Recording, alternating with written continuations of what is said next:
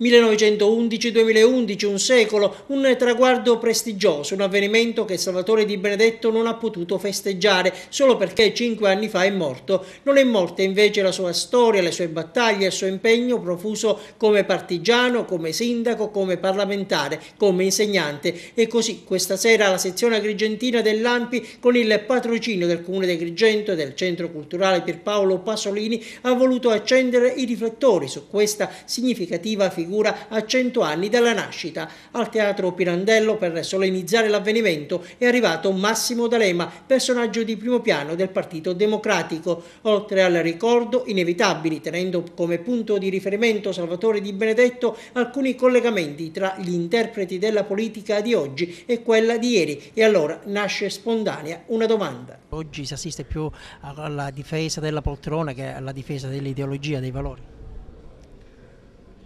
Beh, insomma, io adesso non disprezzerei in blocco, diciamo, la politica e fa, ognuno si prende le sue responsabilità. Eh, io credo che c'è ancora una politica che crede nei valori, altrimenti sarebbe un disastro, diciamo.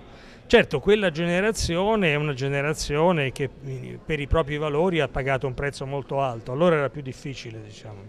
E in tema di politica nazionale i riflettori si sono accesi sul neonato governo tecnico guidato dal professore Monti. Oggi abbiamo un governo affidabile, abbiamo un Presidente del Consiglio che torna ad essere considerato un interlocutore di prestigio, non era più così. Insomma.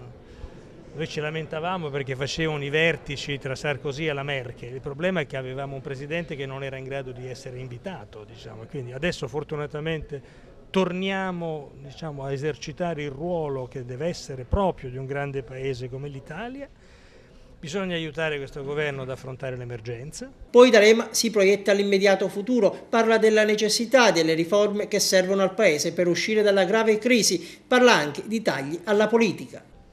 Fare le riforme, la politica deve fare le riforme della politica, e cioè ridurre il numero dei parlamentari, una politica più sobria, e poi si tornerà al voto. E infine D'Alema ha una sua precisa convinzione su chi governerà l'Italia quando le redini torneranno nelle mani della politica.